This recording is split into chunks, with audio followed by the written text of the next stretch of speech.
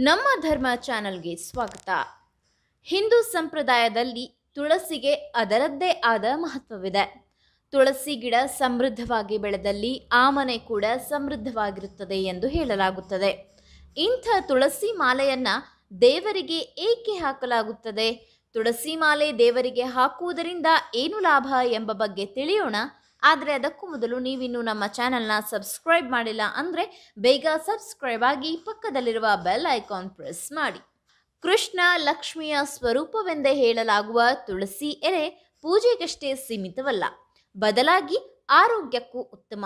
ಕೆಮ್ಮು ಜ್ವರ ಬಂದಾಗ ತುಳಸಿ ಕಷಾಯ ಮಾಡಿ ಕುಡಿದರೆ ಉತ್ತಮ ಆರೋಗ್ಯ ನಮ್ಮದಾಗುತ್ತದೆ.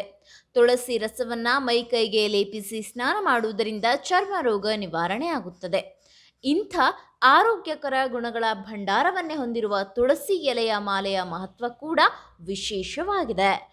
ತುಳಸಿ ಮಾಲೆಯನ್ನ ಆಂಜನೇಯನಿಗೆ, ವರಾಹಸ್ವಾಮಿಗೆ, ನರಸಿಂಹಸ್ವಾಮಿ ಇತ್ಯಾದಿ ದೇವರಿಗೆ ಅರ್ಪಿಸಲಾಗುತ್ತದೆ.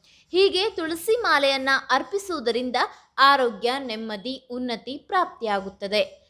ದುಷ್ಟ ಶಕ್ತಿಗಳ ಪ್ರಭಾವವೇನಾದರೂ ಆಗಿದ್ದರೆ ಅದರಿಂದ ಮುಕ್ತಿ ಸಿಗುತ್ತದೆ ಮತ್ತು ಮಾಟ ಮಂತ್ರಾದಿಗಳು ಮಾಡಿದ್ದರೆ ಅದರ ಪ್ರಭಾವದಿಂದ ಮುಕ್ತಿ ಪಡೆಯಲು ಅನುಕೂಲವಾಗುತ್ತದೆ ಎಂಬ ನಂಬಿಕೆ ಇದೆ.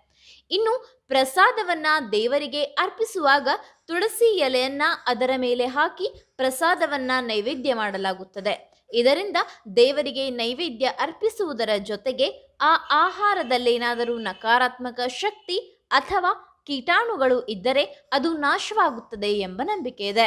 ಈ ಮಾಹಿತಿ ನಿಮಗೆ ಇಷ್ಟವಾಗಿದ್ದಲ್ಲಿ ಈ ಬಗ್ಗೆ ಕಮೆಂಟ್ ಮಾಡಿ, ವಿಡಿಯೋನ ಲೈಕ್ ಮಾಡಿ, ಶೇರ್ ಮಾಡಿ. ಒನ್ಸ್ ಅಗೇನ್ ನಮ್ಮ ಧರ್ಮ ಚಾನೆಲ್ನ ಸಬ್ಸ್ಕ್ರೈಬ್ ಮಾಡಿಲ್ಲ ಅಂದರೆ ಬೇಗ ಸಬ್ಸ್ಕ್ರೈಬ್ ಮಾಡಿ. ಧನ್ಯವಾದ.